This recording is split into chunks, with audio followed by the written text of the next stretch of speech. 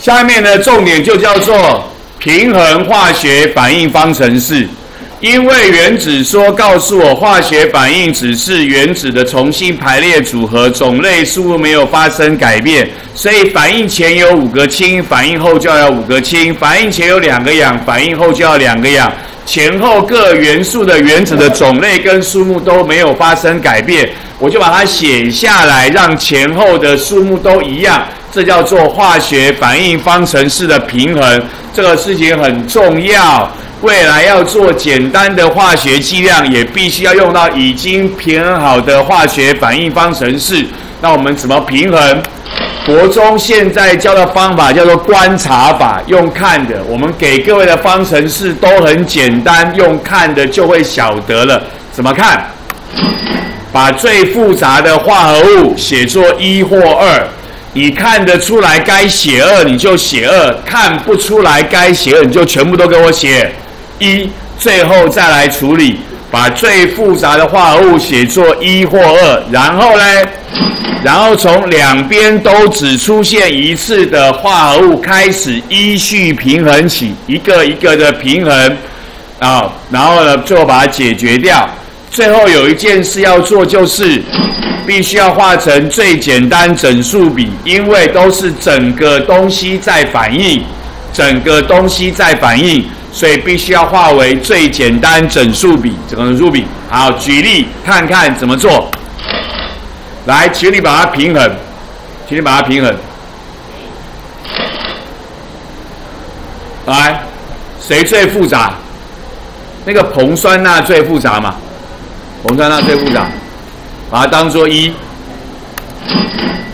好，一写完之后，那就这里的钠。左边一个，右边一个，钠可以用。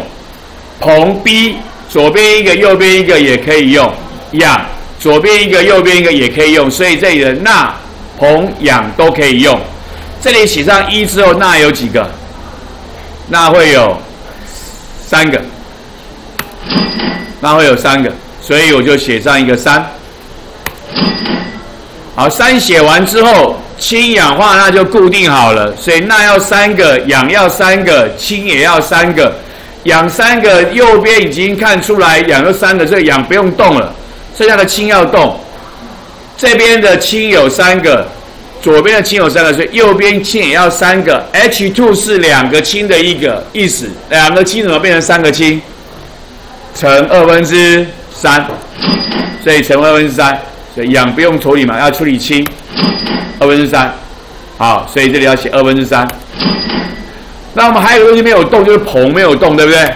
那个硼没有动，硼没有动，那个右边一个硼，左边也一个硼嘛，所以就写上一，啊，写上一，好，平衡好了，左右都一样多了，可是不行，为什么不行？要化成最简单整数比，所以全部都乘以二。所以就平衡好，所以就平衡好，是这样，OK。所以两个硼就是平衡好，这就是我们的平衡的方式，就这样做，可以吗？可以，啊，可以，这样平衡吗？这是我们答案，是这样。好，换你，平衡，这样要多少？你。再把你叫起来，你就念数字一一二二这样子，三三四四这样子，OK？你就念数字，从头念到尾，依序念给我听就可以了。你的数字，你的数字什么数字？一一二二三三四四啊！你就把你叫起来，你就念你的数字给我听，告诉我你的数字是谁，多少，可以吗？好，来，我们要找一位可爱大帅哥。帅哥，帅哥叫做三四号，没有来。我们帅哥二十五号，二十五号大帅哥。念数字。一，接下来。五。三四。一五三四哦，好可怕，请坐下。你答案叫一五三四。来，我们我们怎么做？这个最复杂，当做一，碳左边一个，右边一个碳可以用；氢左边一个，右边一个氢可以用。这里有三个碳，所以这里要写三，这里要写三，啊，这里要写三，好，这边写一，这里写三。可是这个氧不能动，因为氧左边一个，右边有两个，所以不能先动氧，所以要回来动谁？氢，这里亲有八个，所以这里要写多少？四。四写完以后就只在氧没，对不对？这里三加乘二是六，四。乘一是四，六加四是十，所以就要十，所以就要写多少？这里就要写五，就要写五，所以一五三四，所以答案一五三四，OK 吗？OK，很好。那这个呢？这个呢？